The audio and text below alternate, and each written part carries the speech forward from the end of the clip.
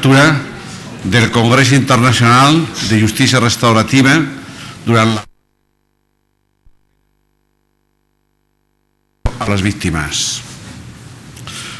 Aquest acte d'apertura tindrà tres intervencions, la meva, ara em presentaré, la de Joaquín Claveguera, director general d'Execució Penal a la Comunitat i Justícia Juvenil, i de la Rosa Maria Garriga com a responsable i directora gerent d'AGI.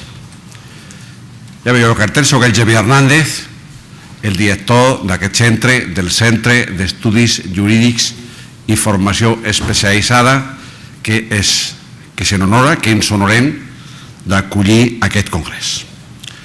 La, la meva intervenció, que procuraré que sigui breu, tindrà tres continguts. Un primer contingut de benvinguda, un segon contingut de gràcies i un tercer d'unes reflexions molt lleugeres i molt breus i per tant molt incompletes sobre el tema essencial del Congrés i per tant sobre la justícia restaurativa. Benvinguda, benvinguda primer a tots aquells que venen de fora, que siguin benvinguts a casa nostra, al centre d'estudis, al Departament de Justícia, nosaltres en formem part del Departament de Justícia, eh, i en definitiva a Catalunya. Eh, que sàpiguen que som un país acollidor, un país mediterrani, que ens sonora rebre gent, són des d'un punt de vista de rebre gent de fora de les nostres fronteres el segon país del món, eh? rebem cada any una pila de milions de persones eh, que ens visiten i ens honoren en la seva presència eh? i per tant ens complau moltíssim tenir-los aquí, a tots vostès, eh? i desitjar-les que l'estada a Catalunya no només sigui profitosa des d'un punt de vista de l'objectiu d'aquest congrés, sinó que ho sigui també des d'un punt de vista personal i que trobin un moment, encara que sigui breu, en les feines del congrés per trepitjar Barcelona, per deixar que l'aire del Mediterrani es fiqui dintre de vostès, eh, per provar, encara que sigui d'una forma lleugera, la gastronomia catalana, que està, com saben, entre les primeres del món. Benvinguts a tota la resta, ho dic sempre, és casa vostra eh, la paga el sofert contribuent català i encara que nosaltres diem que el centre d'estudis és del Departament de Justícia és perquè orgànicament està escrit al Departament de Justícia però és del poble de Catalunya i està al servei del poble de Catalunya que és qui ho paga eh? per tant, a l'obrir les portes i dir-vos benvinguts i benvingudes eh, no fem més que reconèixer i manifestar el fet concret i real de que és casa vostra i gràcies, gràcies als organitzadors, gràcies també a, als patrocinadors, gràcies a totes les persones que ho fan possible, gràcies també a la gent de la casa, eh, a la gent del centre d'estudis, eh, que juntament amb la resta han col·laborat per fer-lo realitat, gràcies als professionals de la Direcció General, que són els primers actors, gràcies a AGI i a les altres fundacions i organitzacions que hi participen. Eh? Tercer aspecte, la justícia restaurativa.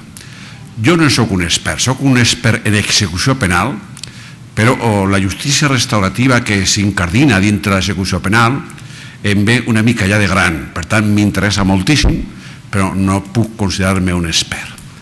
Així tot, m'atrevesso a fer algunes consideracions des del de, eh, sentiment d'estar entre amics i que per tant puc parlar amb una certa llibertat sense tenir una excessiva cura d'allò que diré. Primer jo em felicito per tot el que suposa el moviment de la justícia restaurativa com una realitat, com un pensament, com una idea, com una corrent, però també com una pràctica concreta. El món de l'execució penal ha recorregut un gran camí i té encara un camí molt important per recórrer, cercant dues coses que a mi em semblen imprescindibles, irrenunciables seria la paraula. La una és la humanització de la pena i si són capaços de la eliminació de la pena.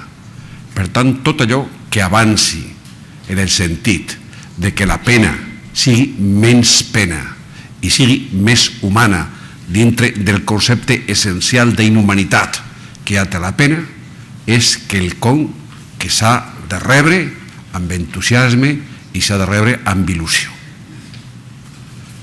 Suposo també com a mínim una esperança, i en alguns casos està demostrat ja una realitat, des d'un punt de vista d'aconseguir que és essencial i que en definitiva eh, persegueix la pena en els sistemes actuals. En els sistemes actuals, vostès ho saben millor que jo, encara que la pena és un càstig, i ho és, no pretén ser un càstig. El que pretén és evitar la reincidència. Eh? Eh, encara eh, les finalitats de la prevenció essencial i de la prevenció general eh, continuen sent vàlides encara que amb unes metodologies molt basades en l'orientació a la reeducació i la reinserció com demana, com demana la, la Constitució espanyola. Eh? Per tant, la pena ja no s'imposa com un càstig, o almenys no s'hauria d'imposar com un càstig, sinó s'imposa com a una necessitat des d'un punt de vista d'aconseguir tant com podem la no reincidència en l'activitat delictiva. Les noves modalitats d'execució de la pena sempre es viuen des de la por per part de sectors socials i polítics importants, des de la por de que aquesta humanització, d'aquesta suavització de la pena pugui portar com a conseqüència un increment important de la inseguretat. El camí que hem viscut fins ara, des del principis del 19 i abans, es diu que això no té per què ser veritat. Avançaments que avui són tan importants i tan quotidians, eh, que corren el risc de ser irrellevants, però que en canvi en el seu moment van ser objecte d'unes dures polèmiques, ens ho demostren. La llibertat condicional, el règim obert, els permisos de sortida, les penes, l'execució de les penes en comunitat, les alternatives a la presó. Tot això ha comportat avançaments importantíssims en la humanització de les penes i avançaments també importantíssims en la disminució de les tasses de reincidència. Per tant, penes més humanes no significa increment de la inseguretat i més gran probabilitat de nous delictes. Al contrari, en moltes ocasions ens demostren que són dos objectius que van perfectament lligats i que podem fer un sistema penal molt més humà i al mateix temps, precisament, segurament perquè és molt més humà i perquè és molt més professional i perquè és molt més tècnic, fer-lo molt més orientat a l'educació i reinserció social d'aquell que va cometre el delicte, però també des d'un punt de vista d'un increment de la seguretat ciutadana com a conseqüència d'aquesta reeducació i d'aquesta reinserció de l'infractor. En aquest sentit, la justícia restaurativa, per meu entendre, es comporta eh, amb una triple eh, finalitat que l'honora i que a mi m'il·lusiona. Una més gran humanitat de la pena, una més gran oportunitat de no reincidència i una més gran consideració cap a la víctima en concret i cap a la societat en el seu conjunt també en concret. En la mesura que tracta també de crear ocasions de restauració, o sigui, de rebre no només la satisfacció pel càstig, que és una satisfacció dolenta i antiga, sinó una satisfacció de rebre quelcom positiu per aquell que havia fet una acció que havia comportat una ofensa greu a la comunitat o a una persona concreta i a través d'aquesta persona a la comunitat. Per tant, aspectes per a mi molt valuosos. Ara, sempre, sempre, sempre, i ara torno, eh, em desperta algunes cauteles molt importants. La Marta Ferrer, que és la responsable del centre d'estudis de tot el que és l'àrea social i criminològica, en sent des de que jo treballo aquí, des de que soc director, sempre que es parla de justícia restaurativa o es parla de mediació, el director aixeca el dit, anem en compte. Davant de tots vostès, pot ser que d'una forma excessiva, eh, posaré també anem en compte. Em preocupa molt, molt, molt el paper de les víctimes no es pot, al meu entendre, des d'un punt de vista moral i des d'un punt de vista de respecte a la víctima, iniciar cap procés de justícia restaurativa en el sentit ampli de la paraula i de mediació penal en el sentit més concret de la paraula i sobretot en l'àmbit d'adults sense que el procés s'iniciï des de la víctima i en la total participació voluntària de la víctima. En el món actual no ens hem d'oblidar de que no només existeixen les errades les equivocacions que poden acabar amb una conducta delictiva i són una errada personal o col·lectiva. No només existeixen les influències socials que determinen d'alguna manera el delicte. La criminologia ho sap molt bé de com un determinat tipus de circumstàncies vitals i socials són, per dir-ho així, generadores d'activitat delinqüencial. Existeix també la maldat, no ho hem d'oblidar mai.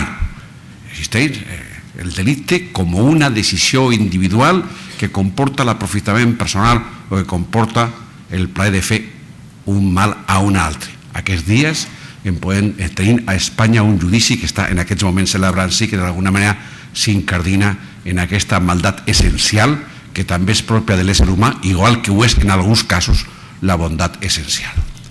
Per tant, no podem col·locar, al meu entendre, la víctima en una situació en el que el dir que no o el, el mostrar reticències a la mediació o la justícia restaurativa li col·loqui en una certa i segura, en molts casos, situació d'inseguretat. Per tant, des de la perspectiva primera que jo he dit, d'il·lusió que comparteixo, eh, marco també, eh, de la meva possibilitat d'equivocar-me, aquell punt, aquest far vermell, de dir, sempre, sempre, sempre, en procés d'aquest tipus, eh, hem d'estar molt, molt pendents, molt, molt, molt emetents de tot allò que pensa i vol la víctima i que en cap cas es vegi pressionada per res. Dit això, torno al principi. Eh? M'interessa moltíssim, ens interessa moltíssim el debat sobre això. Ens està obrint ja no expectatives de futur, sinó realitats de present, i reflexionar, avançar, aprofundir sobre aquestes realitats de present i obrir nous camins de futur, penso que no només és una obligació de nosaltres, aquells que cobren un sou per dedicar-nos a aquestes coses i per tant que en forma part de la nostra professió, sinó que és quelcom també que il·lusiona i esperona a la societat en el seu conjunt per fer un sistema, en definitiva, més procliu als homes, més humà i des d'aquesta perspectiva també més segur, com he dit abans. Dit això, jo declaro inaugurada aquesta jornada i se deixo l'ús de la paraula al senyor Joaquim Clavegara, que és el director general d'execució penal a la comunitat i justícia juvenil. Moltes gràcies.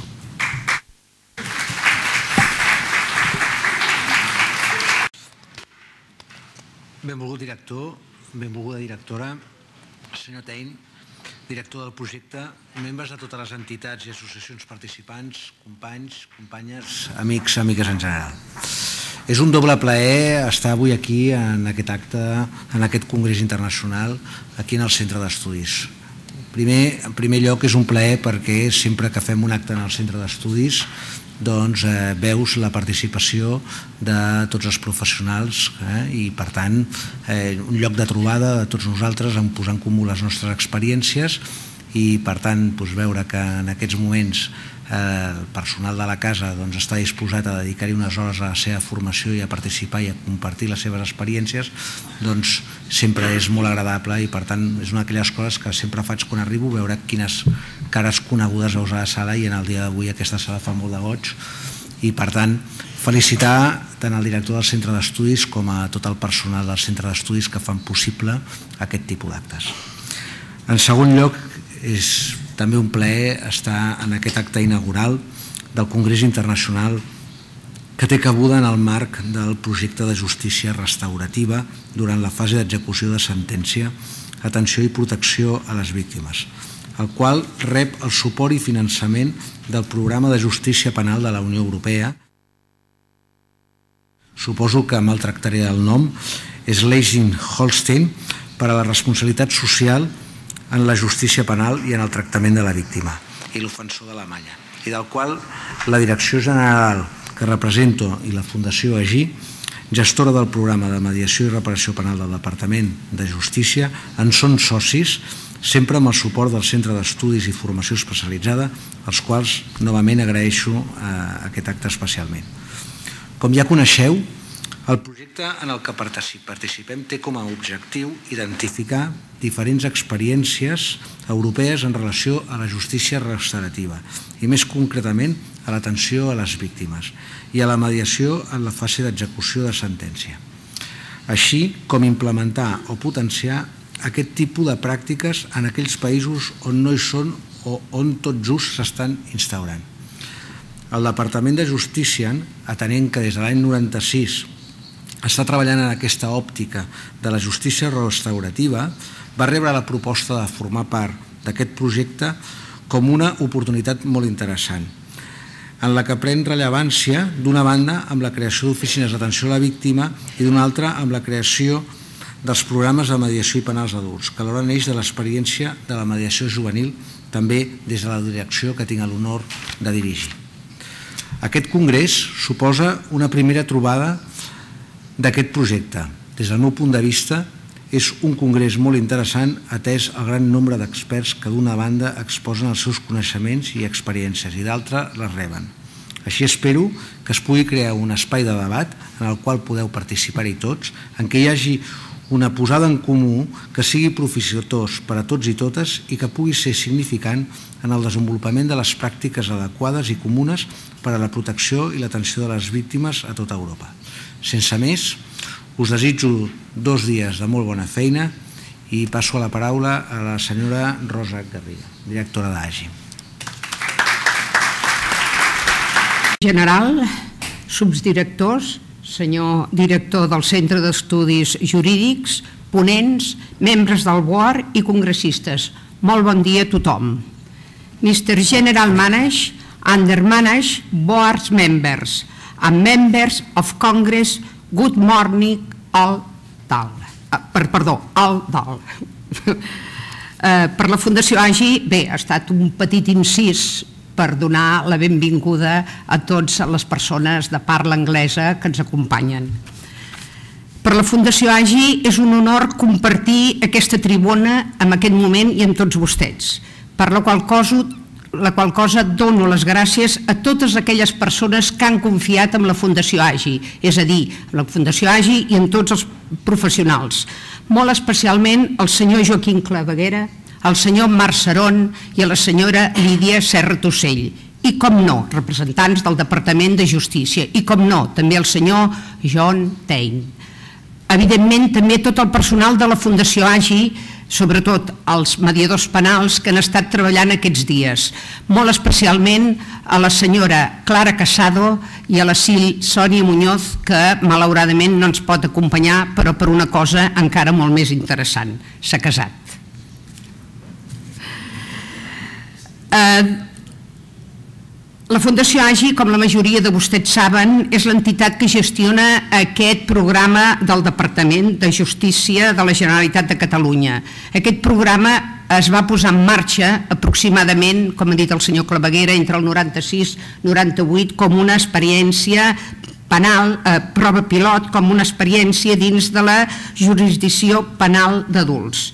Aquesta prova pilot tenia com a precedent l'experiència contrastada amb l'àmbit de la justícia juvenil. Fou la primera experiència en tot l'estat espanyol. A partir del 2004 aquesta experiència es va anar consolidant i ampliant, de manera que es va dissenyar un programa marc, es van dissenyar els protocols de coordinació amb els òrgans judicials i amb totes aquelles entitats i institucions que intervenien. L'expansió d'aquest programa actualment es du a terme per tot Catalunya. Els mediadors de la Fundació AGI que actualment estan treballant amb aquest programa en són set. Es tracta, i us ho ben asseguro, de professionals amb gran experiència, amb una experiència molt dilatada i amb una sòlida formació que fan dia a dia possible la reparació del delicte, sobretot, com ha dit el director, envers la víctima. El congrés que avui s'inicia, eh, tots vostès tindran l'ocasió de conèixer experiències, noves metodologies de treball i tots aquells programes que s'estan duent a terme eh, dins de la Unió Europea. També consolidar aquells coneixements que, per què no, ja tenim a Catalunya ja fa anys que s'està duent aquest programa i per tant mm, tenim eh, un abast bastant important i consolidat de coneixements. Res més, o nothing. Els eh, desitjo un profitó congrés.